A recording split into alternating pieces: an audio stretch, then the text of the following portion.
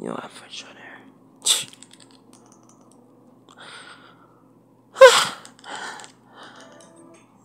no! No! please! Please don't leave! Please! Don't leave! You saved us! Thank you. I love you.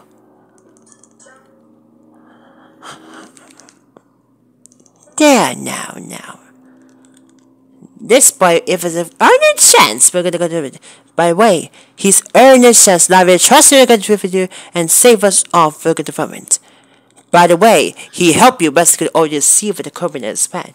So no matter where we go there is, he will always be his heart, as long as he gave us for another second chance for this battle.